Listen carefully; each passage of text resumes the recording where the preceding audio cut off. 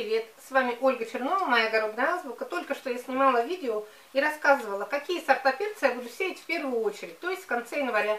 Я сказала, что те, которые для раннего урожая, и те, которые с длительным сроком, которые толстые, толстая стенка, большой такой плод. И сейчас следом сопряженная с этим тема, как выращивать перец с пикировкой или нет. То есть, будем ли мы впоследствии пикировать его это было каждый год, вот сейчас начнутся посевы и начнутся споры. Даже вот в комментариях люди между собой спорят, спорят и каждый расхваливает свой метод. Есть вот прям активные сторонники, чтобы без пикировки. Они говорят, что его нельзя трогать. Вот вчера прочитала комментарий, один мужчина даже сказал, если вы прищепнете этот стержневой корень, вы обречете растение на медленную смерть. Но я на протяжении многих-многих лет выращиваю с пикировкой перец, и он прекрасно растет, и если бы растения после этого умирали, ясно, что я на второй или на третий год уже отказалась бы от этого метода.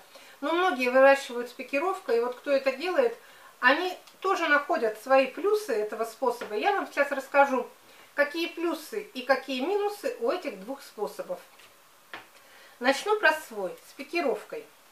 Во-первых, я всегда высаживаю много и когда высаживаешь с пикировкой, есть возможность посеять часто и в один лоток разместить большее количество сеянцев. Это ясно, что мы же знаем, что мы потом будем рассаживать. Я вот высаживаю на расстоянии 2-3 сантиметра это семечки, между строчками 3 сантиметра.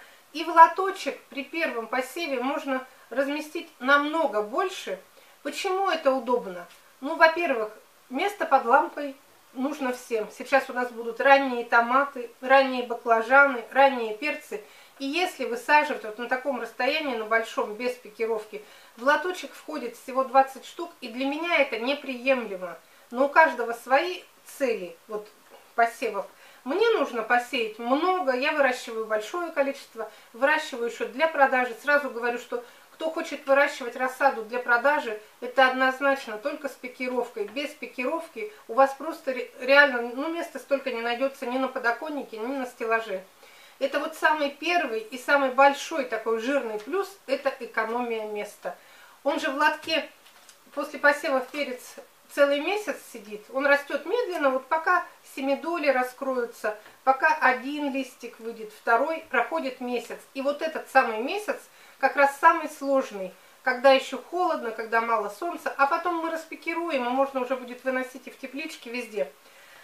Но у этого способа, конечно, есть минус. Если вы начинающий, если вы боитесь пикировать, боитесь повредить корневую систему, то для вас, может быть, лучше будет метод без пикировки, потому что с пикировкой, я вот когда пикирую, я прищипываю вот этот основной корешок, я заглубляю до 7 долей, и это правильно, по правилам, по всем справочникам нужно заглублять.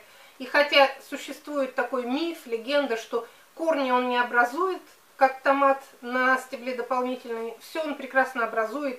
И вот заглубление до 7 долей как раз дает мне укрепление рассады. Образуются дополнительные корешки, боковые, сразу вот эти стимулируются образование боковых корешков – перец на глазах, ну вот после того, как он немножко поболеет, конечно, он на глазах прям начинает толстеть и очень крепкий, вот после пикировки именно. Но это мое мнение, я вот про свои говорю.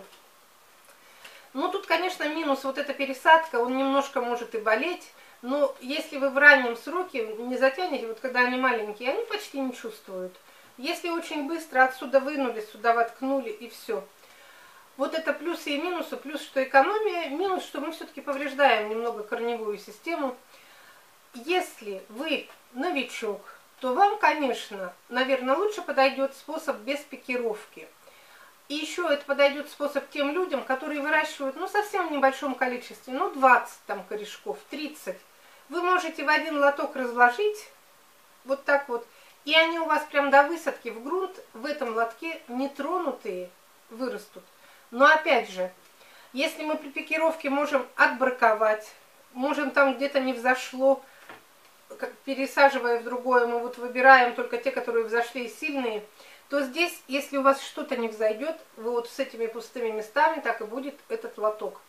И тут все советуют специалисты, что если вы сеете без пикировки последующей, то нужно укладывать обязательно по два семечка. Но бывает опять ситуации, когда взойдут оба семечка, и получается вот такая загущенная посадка, второе семечко удалять обязательно. И нельзя его вырывать, потому что, опять же, повреждается корневая система первого. Его обычно берут маникюрными ножничками, обстригают. Это же жесточайший, конечно, метод, способ, когда здоровый, полностью такой жизнеспособный сеянец перца надо выстригать. Мне это не нравится, я никогда так не сею, никогда так не делаю. Но люди делают так только для того, чтобы избежать пикировки последующей. Зато у них перцы стоят вот так. Если без пикировки надумаете сеять, вам лучше тогда использовать можно сразу стаканчики или кассеты. В кассетах очень хорошо растет перец. Кассета такая крупная ячейка. Или стаканы. Некоторые сразу сеют в полкилограммовые стаканы, а он у них сразу от начала до конца. Но в каждый стакан опять тогда нужно вложить по два семечка. И тут два варианта. Некоторые прям, если два взойдут, некоторые их высаживают прям парно, некоторые опять же удаляют как-то каким-то образом, разделяют. Я без пикировки никогда не выращивала вообще ни разу в жизни, потому что для меня это изначально не подходит, потому что мне нужен большое нужно количество растений, поэтому я про без пикировки знаю только теоретически, но я понимаю, я вот знаю, обладая всеми этими знаниями, я понимаю, что без пикировки Конечно, это щадящий режим, вы его не, не трясете корневой системой, не повреждаете, он тоже хорошо растет. Но как без выбраковки? Вот я привыкла выбраковывать. Я когда много насею в лоток, они взошли, я вижу, одна повыше взошла быстро, другое семечко взошло позже. Его лучше тогда уже не брать. Изначально слабое семя, у него что-то, значит, там сбито уже в его программе.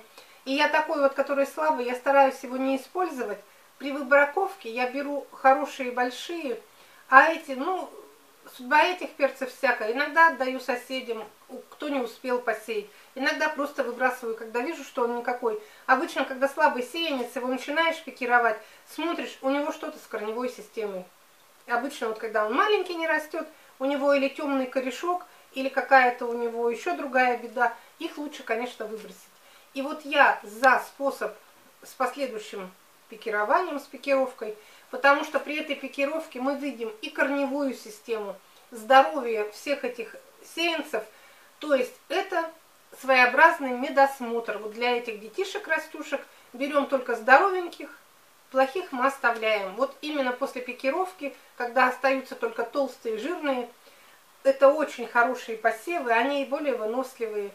Но про метод с пикировкой я тоже не буду вас отговаривать. Кому-то он подходит идеально. Если вы всего 20 штук выращиваете, вам смысла нет их трясти с одного горшка в другой. Посеете два семечка, одно уберете более слабо, а этих больших 20 стаканчиков запросто под одной лампочкой вырастите. Все. Вот это вот такие небольшие нюансы, которые все начинающие огородники должны знать.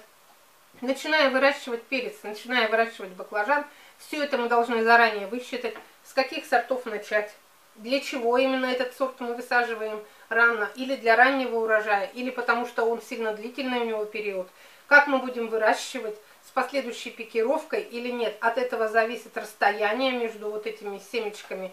И все, когда вы это запланируете, продумаете, начинаем посев. Кто-то в конце января, а кто-то в начале, в середине февраля. Все, желаю всем вооружиться. Главное наше оружие – это наши знания.